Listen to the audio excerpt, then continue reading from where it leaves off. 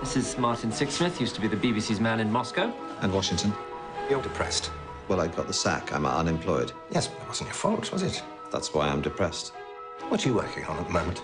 I know this woman. She had a baby when she was a teenager. She's kept it secret for 50 years. You're talking about the human interest story, and that's. I don't do those. Why not? Do you think I should do a human interest story? Philomena, how are you? I had a hip replacement last year, Martin. Titanium, so it won't rust. Otherwise, I'd have to oil you like the Tin Man. Is that right? Oh, no. He's just joking, Mum. Oh. I was going to ask if it'd be possible not to use my real name when you write the story.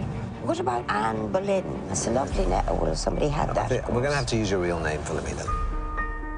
I only want to know if he's all right. Perhaps these older nuns should help us with some of the details.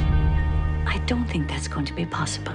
Why not? You're a journalist. I used to be. Martin's a Roman Catholic. Yes. Well, no, I used to be. My guess is that Anthony was adopted and sent to America. I think I would like to go. I'd like to know if Anthony ever thought of me. I've thought of him every day. Should we go for a walk? Or we could watch Big Momma's house. It's about a little black man pretending to be a fat black lady. It looked hilarious, Martin. Told four people today that they were one in a million.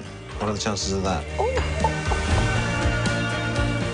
What if he died in Vietnam or lived on the street? Or what if he was obese? What on earth makes you think he'd be obese? Because of the size of the portions.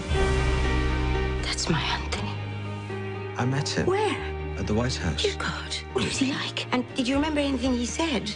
Hello. Hello, hello. It Might have been high. Oh, Martin. Not abandon my child. He was taken from me. She's been looking for him. She's spent her whole life trying to find him. I've never been to Mexico, but I believe it's lovely. Apart from the kidnappings.